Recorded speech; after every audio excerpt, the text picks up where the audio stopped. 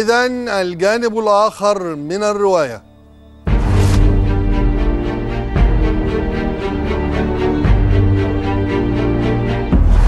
تطور علم تكنولوجيا المعلومات والاتصالات أصبح سريعا جدا ويظهر فيه جديد كل دقيقة. ويحاول المستخدمون للتكنولوجيا اللحاق قدر الإمكان بهذا التطور واقتناء كل ما يظهر من جديد. وبالرغم من تأخرنا في مصر بشكل واضح عن ركب صناعة التكنولوجيا الحديثة إلا أن السوق المصري لم يعد بمعزل عن استخدام كل ما يظهر من جديد في تلك الوسائل. وتعد تطبيقات التواصل المجانية عبر الإنترنت أحد أبرز وسائل الاتصالات التي أحدثت ثورة في مجال الاتصالات حول العالم والتي اتخذها المستخدمون وسائل بديلة للاتصالات التقليدية عبر شبكات المحمول.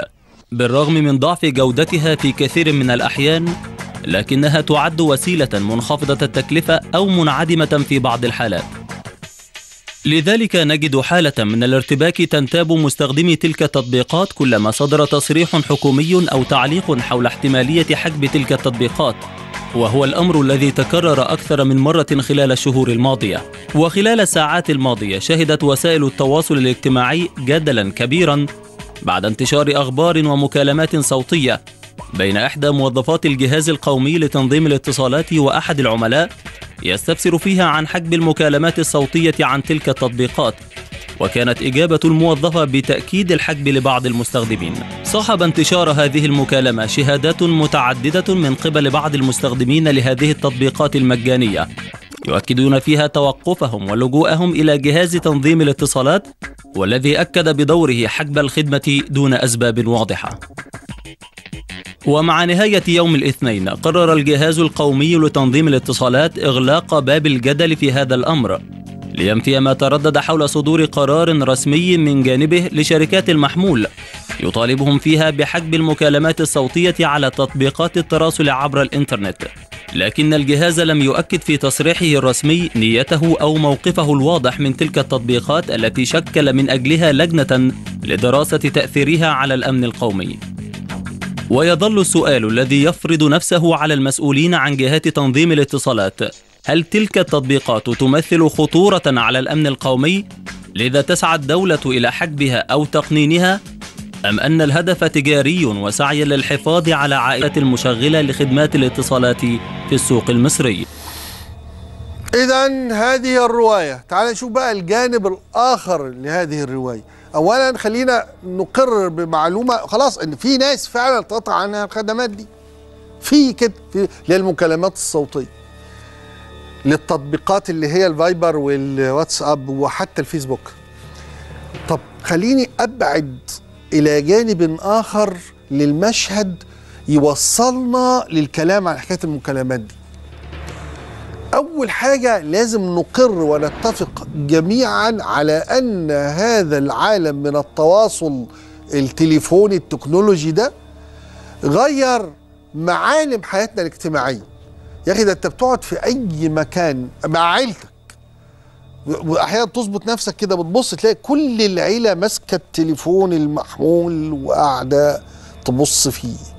اللي بيفتح الفيسبوك اللي بيبعت رسائل على الواتساب اللي بي...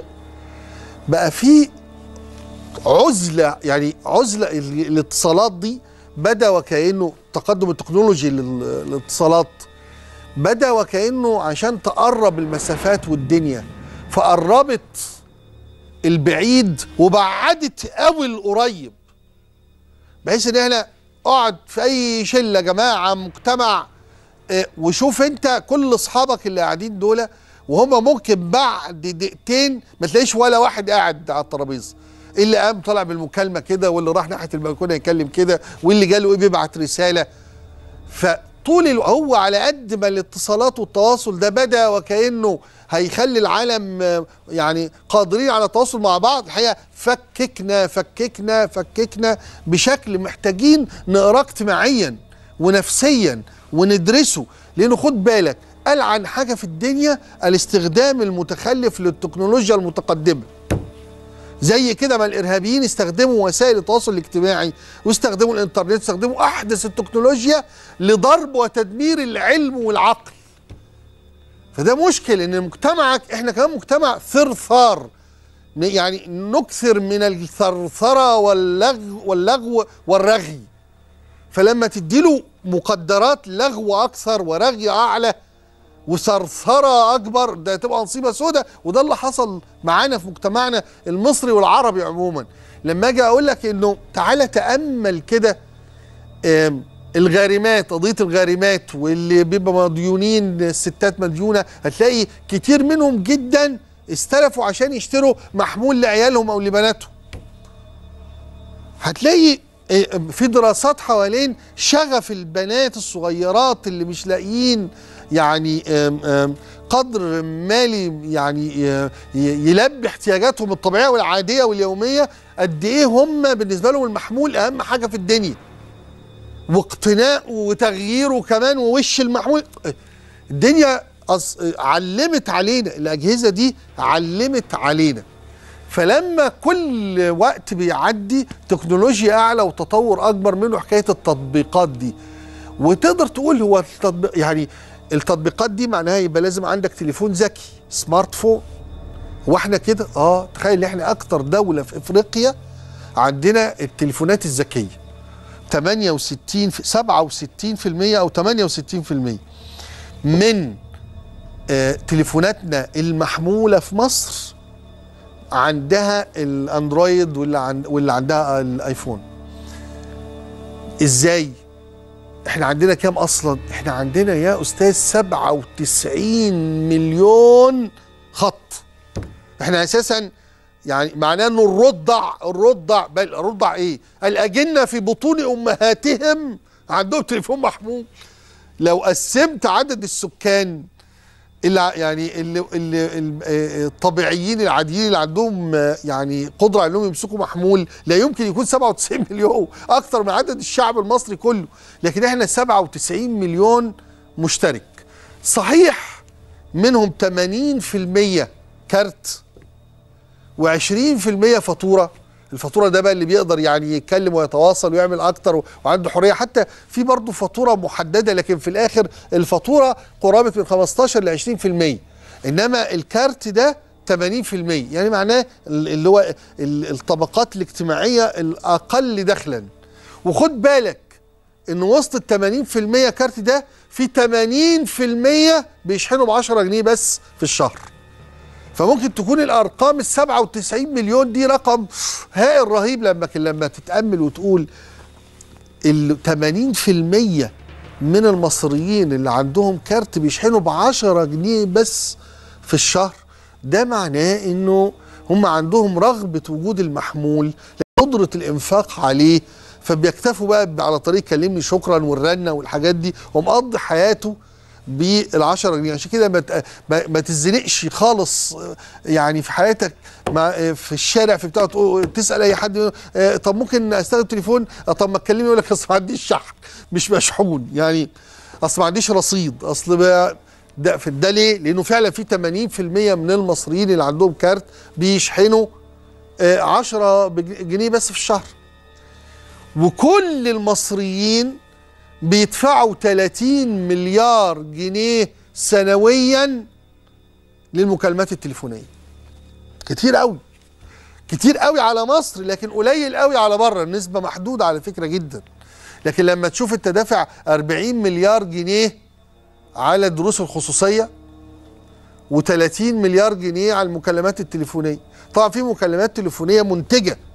بتكلم عمال يجوا يشتغلوا ومش عارف. لكن في من ال 30 مليار دول ولا 25 مليار مكالمات كلام فارغ كلام فاضي.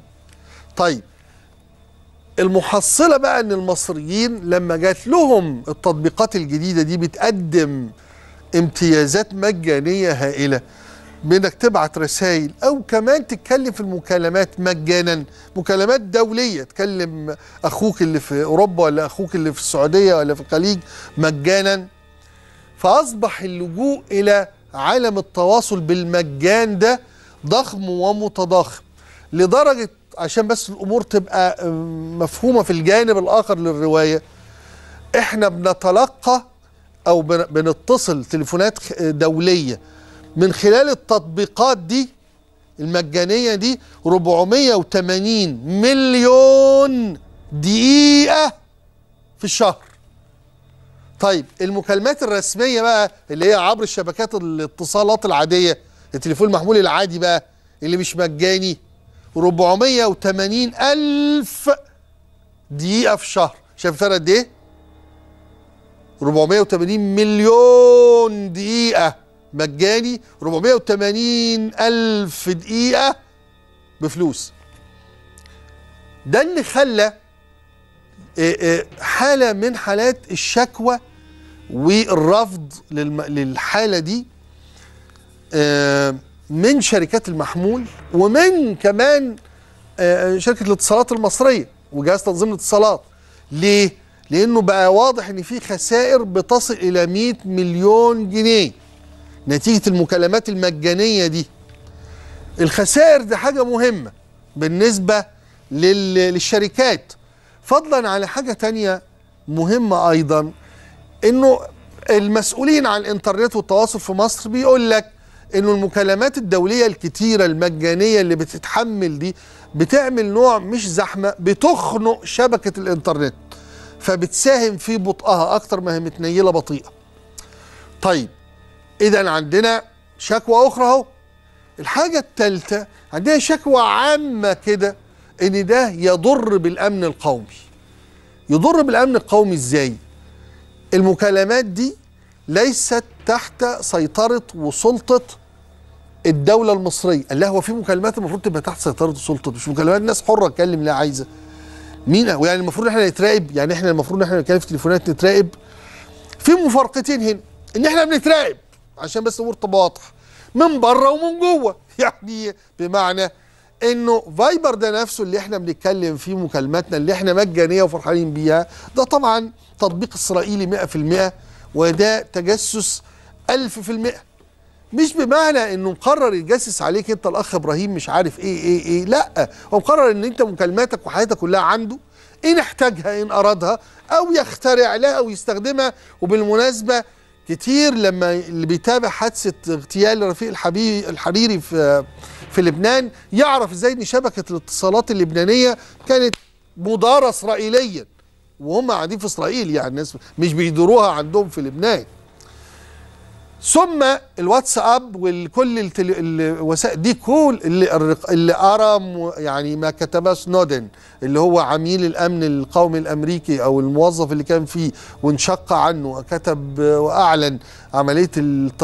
الرقابة التي يعني تفرضها أمريكا على كل الاتصالات في العالم واللي يقرأ كتابه الحقيقة يدرك أن أمريكا تراقب كل شيء وتتجسس على كل شيء وإن الفيسبوك وكل وسائل التواصل الاجتماعي دي معمولة مخابرات أمريكية تستخدمها تماما. بعضها الجيش الأمريكي هو اللي أنشأه. الإنترنت نفسه ده اختراع الجيش الأمريكي. لكن عموما يبقى إنه كله تحت التجسس. إن أرادوا في أي لحظة. بالنسبة لمصر المفروض إن التنصت على المكالمات التليفونية طبقا للقانون. بمعنى إنه اللجوء للمحكمة أو للقاضي اللي يسمح للجهاز الأمن إنه يراقب المكالمات دي اللي هي خاصة بإرهابيين أو غيرهم أو ده لو بنتكلم على سلامة الاستخدام للقانون. وده شيء لا يمكن أن تكون مطمئنا إليه 100% ولا حتى 50% إنما على الأقل بنتكلم على المكالمات اللي لا يمكن أن تستخدم أمام محكمة لازم يكون فيها قرارات محكمة. يعني ما ينفعش تيجي تقول ده أنا سمعت المكالمة دي إلا لو أنت عندك يعني قرار من المحكمة بحقك إنك تتنصت وتسجل المكالمة دي. فلما يجي آه، أجهزة الأمن في مصر أو الدولة المصرية تقول إنها قلقة تجاه التطبيقات دي لانها ما تقدرش تسيطر عليه ما تقدر لو عايزة تراقب فلان وعلان وترتان من الإرهابيين مش هتعرف تجيبهم. ليه؟ لأن ده خارج سيطرة طبعا هي تعرف تجيبهم وهي بتتصنت عليهم بس عشان الأمور تبقى لكن لكن مش بشكل قانوني بقى اللي لأنه مش بتاعتك مش عارف بت يعني بنلاقي دول عربية زي الإمارات وزي السعودية قفلت ده خالص بقى. قفلت التطبيقات دي من أساسها. التطبيقات دي مش بقى خطر على الأمن القومي أو ما بتجيبش فلوس أو بتاع اقفل يا حاج. خالص. تلاقي آه، الدول أمريكا وأوروبا بتاخد فلوس على يعني التطبيق ده معاك في الواتساب ده معاك في التليفون فأنت بتدفع عليهم حاجة شهرية واستخدمه زي ما أنت عايز. المأزق هنا إنه عندك شركات محمول من حقها تقول إن أنا بالطريقة دي بتخسروني وأنا استثمارات في البلد أساسا. وفي شركات محمول خسرانة بقى لها ثلاث سنين وفي شركات محمول لسه يا دوب بتستعيد عافية يعني بتخلص الاستثمارات أو الفلوس اللي دفعتها في في الرخصة لسه السنة دي. اذا إحنا بنتكلم على حق من حقوق هذه الشركات فضلا على حق الدولة نفسها فيما يمس الأمن القومي لكن كمان حق الدولة نفسها فيما يمس الفلوس والإجراء والعائد اللي بيضيع عليها نتيجة استخدام مكالمات مجانية.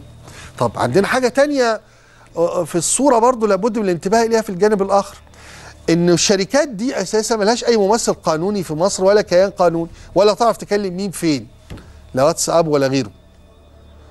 فبقى أصبح انك كمان مش عارف تكلم مين. أكلم مين لما أحب أكلم مصر؟ يعني. طيب هنا بقى نروح ناخد ناخد بالأمر كله ونروح لغاية ما نشوف سياستنا إحنا إيه في الاتصالات في مصر.